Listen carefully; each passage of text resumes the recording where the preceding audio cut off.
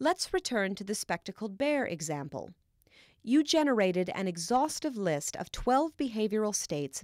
Now you should determine whether every behavior on the list is mutually exclusive.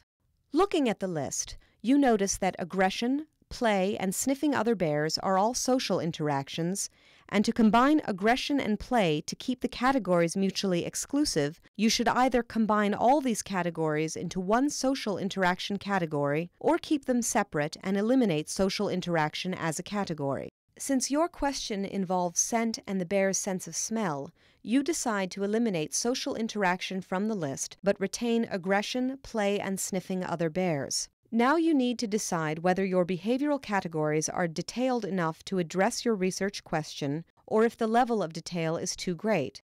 Should you combine similar behaviors into one category?